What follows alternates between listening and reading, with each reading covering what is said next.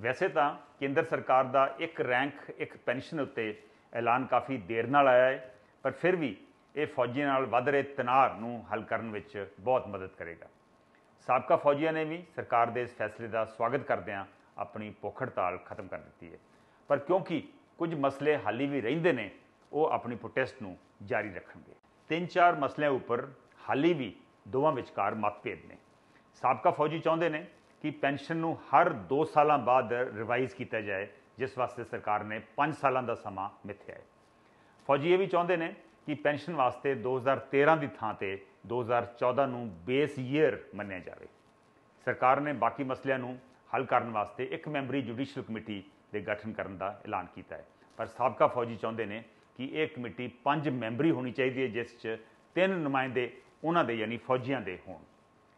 ਓਆਰਓਪੀ ਨੂੰ ਅਨਾਉਂਸ ਕਰਨ ਵੇਲੇ ਰੱਖਿਆ ਮੰਤਰੀ ਨੇ ਇਹ ਵੀ ਕਿਹਾ ਸੀ ਕਿ ਜਿਹੜੇ ਫੌਜੀਆਂ ਨੇ ਵੋਲੰਟਰੀ ਰਿਟਾਇਰਮੈਂਟ ਸਕੀਮ ਯਾਨੀ ਵੀਆਰਐਸ ਲਈਏ ਉਹਨਾਂ ਨੂੰ ਇਸ ਨਵੀਂ ਸਕੀਮ ਦਾ ਫਾਇਦਾ ਨਹੀਂ ਮਿਲੂਗਾ।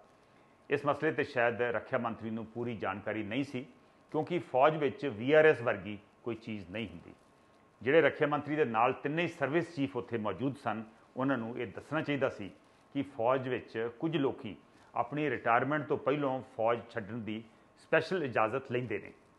ਇਹ ਉਦੋਂ ਕਰਦੇ ਨੇ ਜਿਸ ਵੇਲੇ ਉਹਨਾਂ ਦੀ ਘੱਟੋ ਘੱਟ ਮਿੱਥੀ ਹੋਈ ਸਰਵਿਸ ਪੂਰੀ ਹੋ ਜਾਂਦੀ ਆ ਅਤੇ ਬਹੁਤ ਸਾਰੇ ਕੇਸਾਂ 'ਚ ਉਹ ਅਗਲੇ ਰੈਂਕ ਵਾਸਤੇ ਨਜ਼ਰਅੰਦਾਜ਼ ਹੋ ਜਾਂਦੇ ਨੇ, ਯਾਨੀ ਸੁਪਰਸੀਡ ਹੋ ਜਾਂਦੇ ਨੇ। ਸਭ ਤੋਂ ਜ਼ਿਆਦਾ ਪੈਨਸ਼ਨਰਸ ਦੀ ਤਾਦਾਦ ਇਸੇ ਕੈਟਾਗਰੀ ਦੀ ਹੈ। ਪ੍ਰਧਾਨ ਮੰਤਰੀ ਨੇ ਅਗਲੇ ਦਿਨ ਇਸ ਉੱਪਰ ਆਪਣੀ ਸਫ਼ਾਈ ਦਿੱਤੀ ਹੈ ਕਿ ਇਹਨਾਂ ਸਾਰਿਆਂ ਨੂੰ ਓਆਰਏਪੀ ਦੇ ਫਾਇਦੇ ਮਿਲਣਗੇ। ਮੇਰਾ ਖਿਆਲ ਹੈ ਕਿ ਪ੍ਰਧਾਨ ਮੰਤਰੀ ਨੂੰ ਦਖਲ ਦੇ ਕੇ ਬਾਕੀ ਮਸਲੇ ਵੀ ਹੱਲ ਕਰ ਦੇਣੇ ਚਾਹੀਦੇ ਨੇ।